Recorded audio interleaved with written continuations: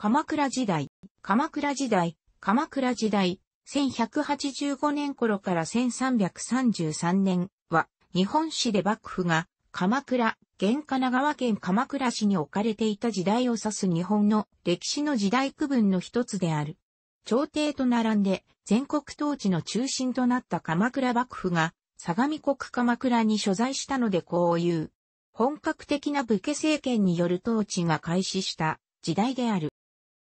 式については、従来の歴史教科書でも記述されていた1192年の源頼朝征夷大将軍就任説をはじめ、諸説あるが、東国支配権の承認を得た1183年説と、守護、自党設置権を認められた1185年説が優になっている。詳細は鎌倉幕府概要を参照。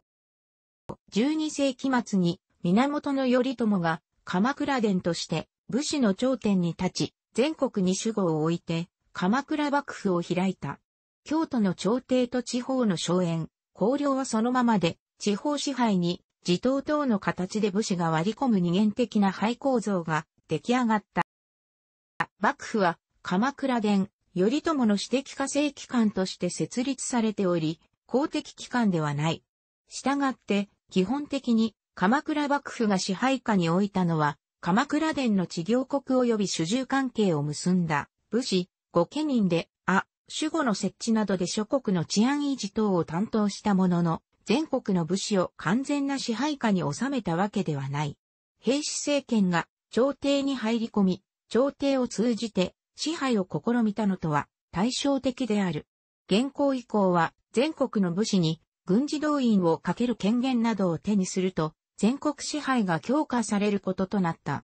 鎌倉幕府がそれ以前の武家政権である平氏政権と最も異なる点は、門中書と呼ばれる訴訟受付機関を設置したことで、これまでは自所の支配権をめぐる争いは、当事者同士の武力闘争に容易に発していたものを、これにより実質的に禁止することになった。武士の、つまり全国各地の騒乱のほぼすべての原因が土地支配に関するものであり、頼朝の新統治理論はこの後長く幕藩体制の根幹を正物になった。源頼朝の死後、平氏である北条家が台東市幕府の実権を掌握。北条氏による執権制度が創設された。頼朝の決闘が絶えても鎌倉幕府体制は永続するように制度整備がなされ、その裏打ちとして五成敗式目という初の武家法が制定され、その後の中世社会の基本法典となった。また、将軍権力は形骸化していく一方で、北条思想領の特捜に権力が集中する特捜先生の体制にっていき、それに仕えるおうち人も対等するようになった。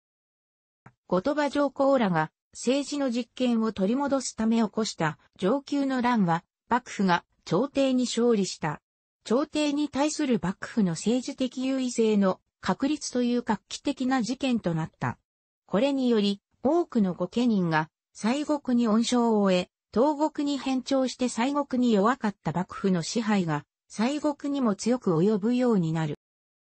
上級の乱後、幕府は森貞親王、後高倉院を自天の君に擁立し、その系統が断絶すると後佐賀天皇を即位させて、朝幕関係の安定化を図った。朝廷も幕府も、社会と自らの政治的基盤の安定を図るために、特性の工業を推進し、時点の君、上皇と執権が表情集を主導して、訴訟の解決を図る体制が構築された。これは、天皇や将軍が直接再挙に加わることで敗訴となった側の怨恨を受け、特に所領問題の場合には、主君による従者保護の責務に反したとして、敗訴となった側の主従関係の解消につながるような事態を回避するために、訴訟の解決を図りつつも、所領問題から天皇、将軍を切り離すための仕組みであったと考えられている。経済的には、地方の在地領主である武士の土地所有が法的に安定したため、全国的に開墾が進み、質実合憲な鎌倉文化が栄えた。文化芸術的にも、このような社会情勢を背景に新風が巻き起こり、それまでの公家社会文化と異なり、仏教や美術も武士や庶民にわかりやすい新しいものが好まれた。政局の安定が西日本を中心に商品経済の広がりをもたらすと各地に定期的な死が立つようになった。土地の相続に関しては分割相続が採用されていたが、そのため時代を下るごとに御家人の所領は零細化され、御家人の生活を圧迫することになってしまった。また、鎌倉時代中期から本格的に貨幣経済が浸透し始めたが、これに順応できない御家人が多く、生活が逼迫した結果土地を売却する御家人もいた。救済策として幕府は、永人の特性例を発布するなどしたが、成果は得られなかった。13世紀には、1274年の文英の役と1281年の公安の役の二度にわたる原稿があったが、元の信仰を撃退した。これにより、日本は、新国という新国思想の発端となり、後世に影響を与えることとなった。また元の信仰は阻止したものの、今までの幕府の戦争と違い、外国を相手にした防衛戦であったため、この戦いによって実質的に獲得したものは何もなく、そのため出征した武士、御家人への恩賞の支払いが少なかったこともあって、いざ鎌倉といった幕府と御家人とのご恩と奉公という信頼関係を損ねる結果となる。現行を機に、幕府は、非御家人を含む日本全国の武士へ軍事動員をかける権限を得たほか、鎮西短大や長門短大などの出先機関を置き、西国への支配を強めた。西国をはじめ、日本国内を中央集権的に統治しようとする、北条氏着流家である徳宗家が御家人を排除し、悲観であるおうち人を徴用するようになった。生活に困窮した御家人の不満を幕府は力で抑えたため表面上は幕政は安定したものの、下月騒動や平善門の乱など先制を強める、徳宗家と御家人の確執は深まり、安藤氏の乱において、おうち人が当事者の双方から賄賂を取り立てる、などといった事象を幕政の腐敗と見る向きもあり、次第に幕府から人心が離れていくようになった。後に鎌倉幕府が崩壊する一つの要因となったとも言える。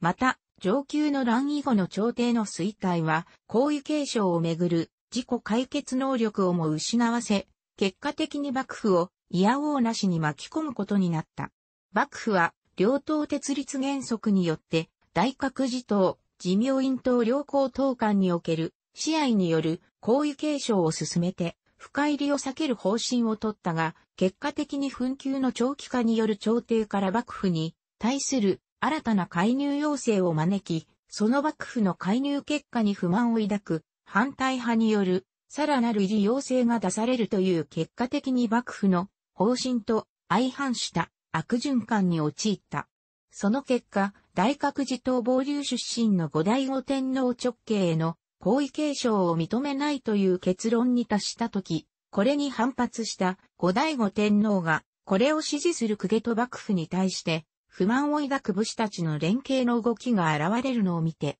反乱を起こす、倒幕運動へと発展することになった、政中の変、現行の乱。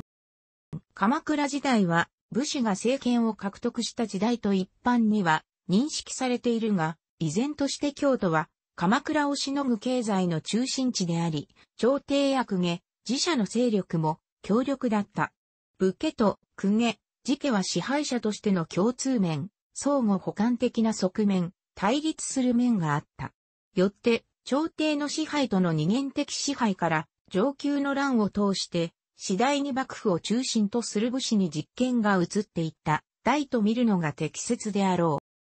う。鎌倉幕府は当初、将軍、実際には鎌倉殿、征夷大将軍職は必須ではないを中心としていた。源氏、川内源氏の源の頼朝系直系の将軍は三代で、耐え、将軍は、公家、設家将軍、後には、皇族、皇族将軍を置く、九月の座となり、実権は、将軍から13人の合議制へ移る。さらに和田合戦、法事合戦、平善門の乱などにより北条氏以外の他氏族を幕から排除すると、権力を北条氏に集中させる動きも強まった。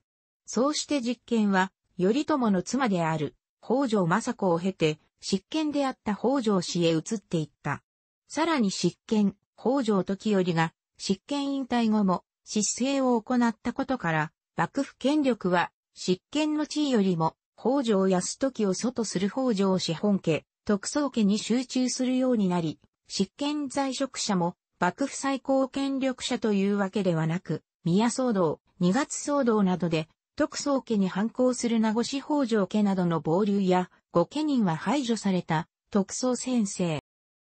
北条氏の功績としては五成敗式目の制定が挙げられる。これは、今までの公家法からの武家社会の離脱であり、法制上も公部が分離したことを示す。先の北条氏による多種排斥に伴い、諸国の守護職などは大半が北条氏に占められるようになり、さらに北条氏の家臣であるお内人が厚遇され、御家人や地方の武士たちの不満を招くことになった。執権北条自習の第二度にわたる原稿があり、鎌倉幕府はこれを撃退したが、他国との戦役であり新たに領土を得たわけではなかったため、十分な恩賞を与えることができず、これも、また武士たちの不満を強めさせた。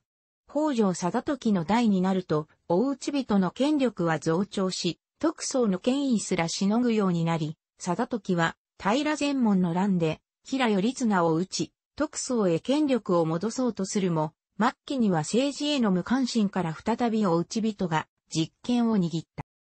また、貨幣経済が浸透して、市場がある、市場庁が誕生した。多くの御家人が経済的に没落して、凡下、庶民階級、非御家人層の商人から借財を重ねた。1284年に公安特性、さらに1297年に永人の特性令を実施して没落する御家人の救済を図ったが、恩賞不足や商人が御家人への金銭貸し出しを渋るなど、かえって御家人の不満と混乱を招く結果に終わった。後醍醐天皇による鎌倉幕府打倒は、この武士たちの不満を利用する形で行われることになる。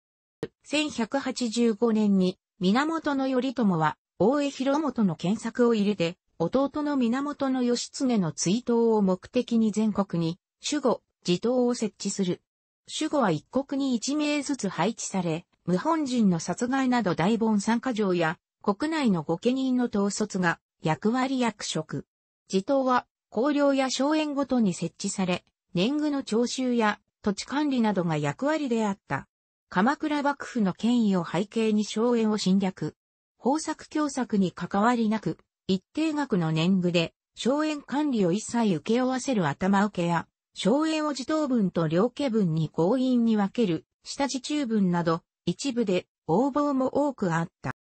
室町時代とは、区別がはっきりしていない。鎌倉文化の特徴は、文化の中心地は、平安時代と変わらず、京都と奈良であるが、武士や庶民の新しい文化が以前の貴族文化と拮抗した点で文化の二元性が出てきたところにある。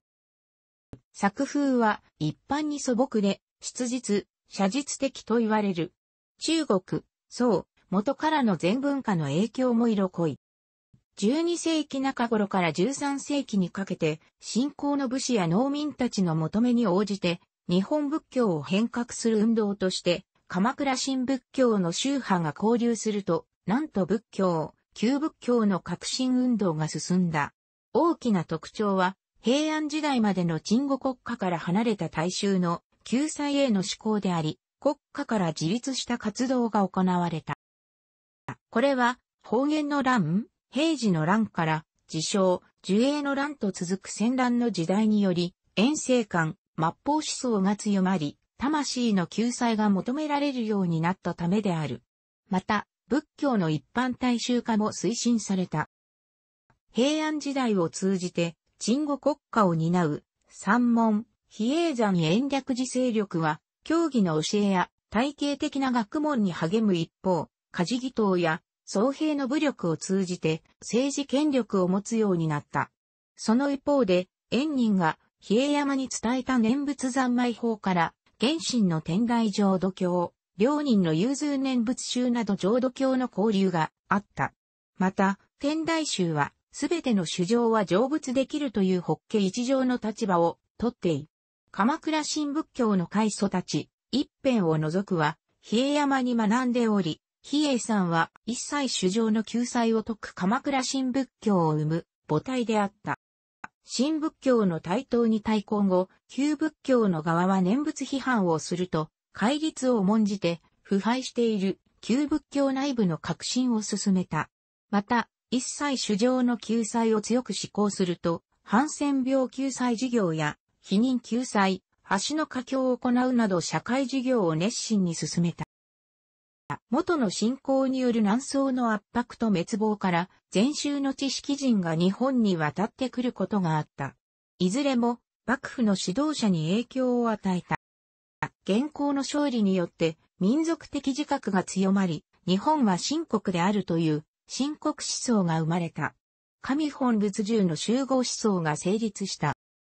楽しくご覧になりましたら、購読と良いです。クリックしてください。